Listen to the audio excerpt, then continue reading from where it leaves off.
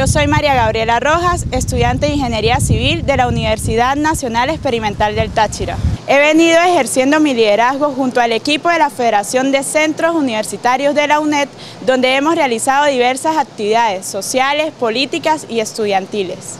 así como también he participado en diferentes actividades políticas, como la organización del equipo Guardián del Voto en diversos escenarios electorales, también asambleas de ciudadanos y giras municipales. Nos encontramos en una de las entradas principales del comedor universitario, donde actualmente formo parte de la comisión encargada de velar por la excelente calidad de servicio hacia el sector estudiantil, donde hoy en día somos uno de los mejores comedores universitarios a nivel nacional.